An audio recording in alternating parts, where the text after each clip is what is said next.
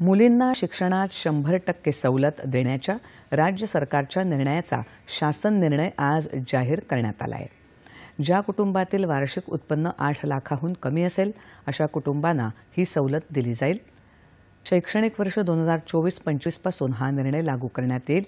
यासाठी नऊशे सहा कोटी पाच लाख रुपये एवढा निधी मंजूर करण्यात आला आहे.